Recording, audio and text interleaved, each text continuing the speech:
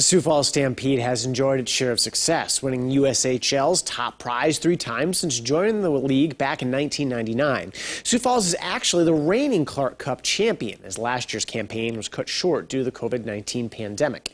In tonight's Eye on KELOLAND, Travis Fossing explains how the Stampede is navigating its way through the pandemic, playing by COVID's rules.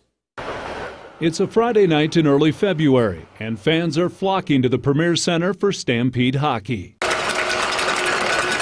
we get to come and play hockey every day, so can't complain. It hasn't been quite every day. Three months into the USHL season, the Herd has had four games altered or postponed by COVID 19. The league's done a really good job, put a lot of protocols in place, uh, making sure that uh, the teams are doing everything they can to keep the players safe. The USHL has a team doctor available to answer questions and hosts a weekly call among the presidents allowing teams to compare notes when it comes to COVID 19. They've been really, really good about uh, getting us uh, information. Um, you know, been there if we have questions or need help, and, uh, and, and, they've been a real good guidance for us to, to make sure that we can do things successfully.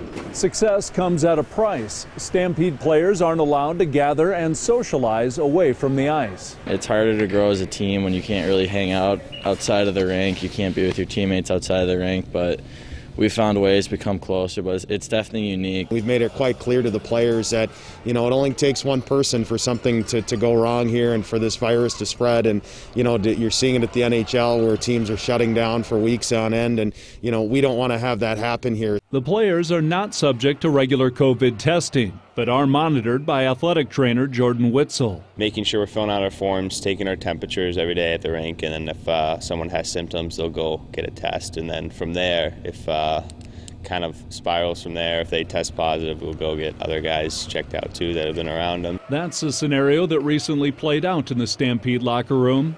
And the reason head coach Marty Murray wasn't on the bench last weekend. We had one player that uh, tested positive, and unfortunately, he took uh, six players down with him due to close contacts. Me being one of them, uh, I did a video with him the day before he tested positive. So, um, you know, that's the world we're living in right now. After missing two games, Murray tested negative on Tuesday and returned to practice Wednesday.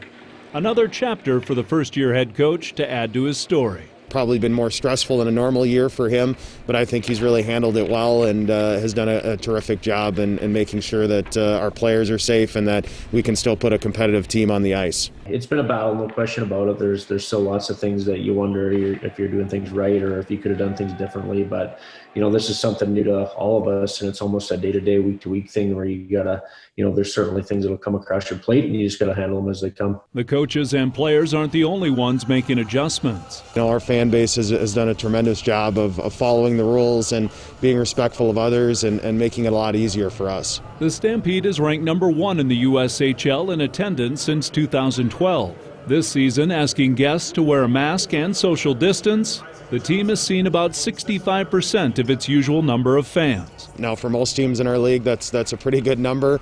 Um, you know, for us, we are a little down, but that was to be anticipated. Not the capacity that it's been in the past, but uh, you know, me, me being new, uh, I probably don't know any different, but uh, I certainly feel the energy with our fans, and you can see why you know, they're the best fans in the, in the USHL. Those fans will only get louder as the Stampede continues its title defense. I like the way our, our team's playing right now, so uh, I think you should watch out. With Eye KELOLAND, I'm Travis Fossing.